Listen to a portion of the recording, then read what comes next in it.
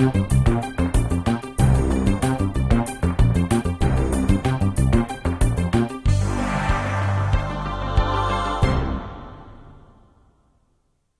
so uh, thank you for introduction. Uh, I'm Fumiyoshi Shoji, and I'm the uh, Division Director of Operations and Computer Technology Division, RCCS RIKEN.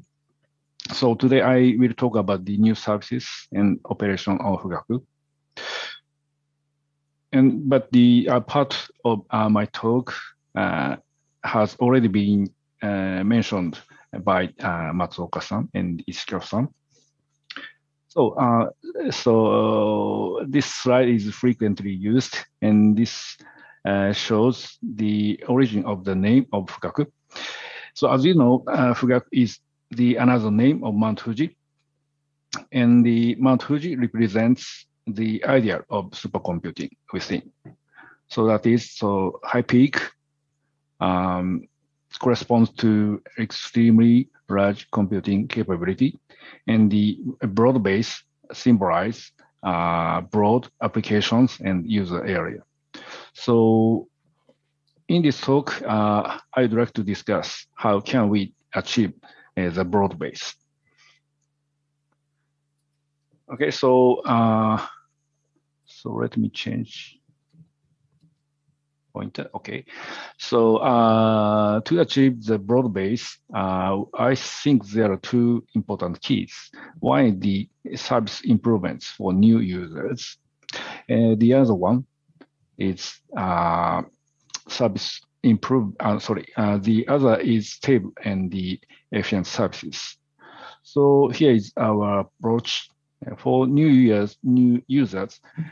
Uh, first, we try to develop and provide new and various computing services with commercial service providers. And the uh, involving cloud technologies into our services will help us to improve usability. And uh, open source software de uh, deployment is also important. And the, for uh, stability and efficiency, I will introduce some operation policy to raise users' awareness for energy consumption and the efficient usage. Okay, so uh, of course, uh, Fugaku is used by, uh, so I will talk about the Fugaku Cloud Platform.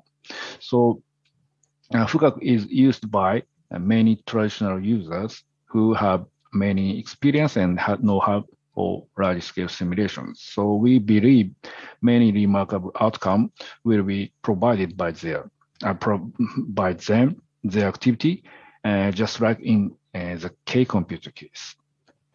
But on the other hand, so to achieve the broad base, uh, we have to approach potential users as well. So for instance, uh, data science, machine learning, artificial intelligence, scientists, and so on. Uh, but actually, this is not so easy. So we decide to collaborate with commercial service providers who have skills and experience to develop and provide various computing services. Okay, so uh, Fugaku Cloud Platform is the project name. And so this is logo. And the, we expect uh, that new computing services uh, will be developed and provided by this uh, activity. Okay, so so this slide shows the uh, schedule of the project. So the project has already started uh, since April last year with uh, nine companies and organizations. So recently uh, we uh, have two more companies and they uh, join these activities. And uh, in this collaboration, we aim to develop new uh, computing services and test on Fugaku. And we expect uh, many of them will be launched as an official service on Fugaku. So in last year, uh, Fugaku was still in construction and tuning uh, and early access phase. So we uh, developed API and new services and test a part of them.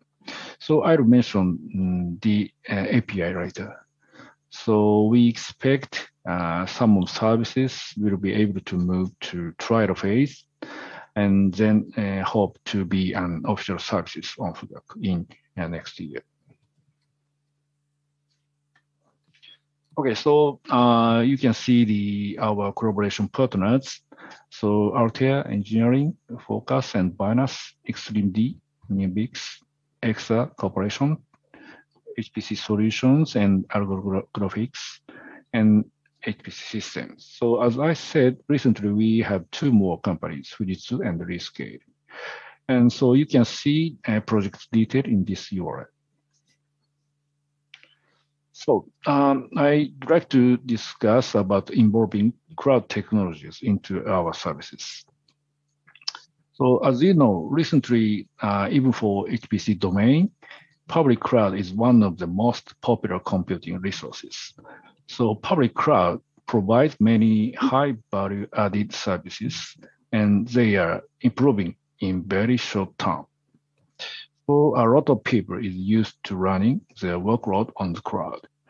For them, cloud services have already been indispensable. If so, it is important to involve such a technologies into our services to expand users and application area. So first, uh, we provide uh, an access API based on NEWT 2.0, so which is developed by the NERSC. Uh, NERSC is the uh, one of the major HPC center in US. And the so of course we uh, user can access to Fugaku by traditional SSH. And the, this API will uh, provide the other and flexible access path to Fugaku for users. And it will help uh, service providers to develop software services on Fugaku as well. So we also expect that the API will be standard to um, access API for many HPC systems in many HPC centers. So a network connection between public cloud services is also important. So we have already uh, established a direct connection network between Oracle Cloud Infrastructure, OCI, by Cloud Connection Services uh, by National Institute for Informatics. So we also provide on-premise S3 compatible object storage and try to construct Kubernetes environment of Fugaku. Okay, so let me discuss about open source uh, software on Fugaku. So as K-computer users know, uh, due to special uh, in, uh, instruction set architecture of K-computer, there were no software ecosystem. So, so um, everybody faced uh, many compilation fails for many open source software. So on the other hand, so for Fugaku, uh, there are uh, there are some activity for open source software on ARM ISA. For instance, uh, ARM HPC user group, which is organized by ARM, and Linaro, who is a contributor to port and tune uh, open source software for ARM architectures. And the, we adopt uh, Spack as a software package manager on Fugaku. And the Spack is an official software package manager of the exascale computing project. The, as you know, many HPC centers in US are involved in exascale computing project. So it helps us not only to deploy and manage open source software supported by Spack on Fugaku, uh, but also to distribute uh, applications and tools uh, we developed. So as Matsuoka sensei mentioned, we also try to port and tune a deep learning uh, framework on Fugaku by uh, DL4 Fugaku project. Okay, so let me briefly mention about the our contribution for Spack activity. So, so um, Spack uh, organized software deployment by recipe. So currently there are more than uh, 50,000 recipes and they are shared as an official recipe. So information about the whether the compilation successed or failed with the recipe would be useful for many ARM users. So we have started to share the information in this URL. So one remarkable point is that compilation success ratio for A64FX is compatible uh, to that of the x86. So, so this and this. And the, so, so we plan to add information about the uh, executability and the performance and so on to this web page. So as I mentioned, I uh, we also try to make recipe for uh, software we developed. So um, let me move to next next topic. Uh, I'd like to discuss here about the stability and efficiency. So this table shows uh, comparison K computer with full system, and the point is the uh, peak uh, power consumption. So so roughly speaking, it's uh, is more than double. And of course, it will be lower in ordinary operation mode. But uh, this suggests us uh, we have to pay attention for efficiency for, to reduce energy consumption. So uh, one of the key to achieve energy efficient operation is power knob. And the Fugaku has many power knob functions uh, which help to reduce power consumption. So this table uh, shows the functions and its options. For, uh, for instance, so we can choose number of active floating point units, and its option is one or two of two. Okay, so we also can control number of active integer units, memory bandwidth, decode issue rate, frequency, and retention. And so retention means a low power mode for unused core and or node. So this is the um, typical use case of these functions. So before job uh, executions, uh, administrator apply node retention for unused node. So then uh, when job is allocated uh, to node, administrator release retention mode and user may use uh, power knob. And, and when job executions, um, user may control node. And after job execution, the node should be returned to the default knob settings by administrator. So finally, um, if there is no job to be allocated, uh, the node will be uh, the retention by administrator. Okay. So, mm, but the in many cases uh, there are uh, there is a trade-off between the energy efficiency and the computing performance. So important point is how can we motivate users for energy efficiency? So we introduce a new resource allocation rule as follows. So first, uh, allocate energy, uh, which is corresponds to watt hour in addition to node hour. So first step, uh, we plan to increasing uh, users awareness uh, for energy efficiency by informing consumed energy by uh, their jobs. And second step, um, when allocated energy is exhausted, the job scheduling policy will be lower. So yeah, we understand there is an issue to keep fairness among projects because the uh, power consumption profile depends on application code. So we try to uh, develop uh, a convincing energy allocation rules based on job profiling data analysis.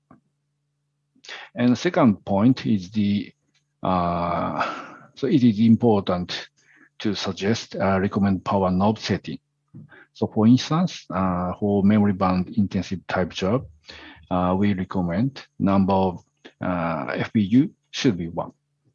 For uh, instruction intensive type job, uh, we recommend memory bandwidth should be half, like that. Okay, so let me uh, discuss about the pre-post IO.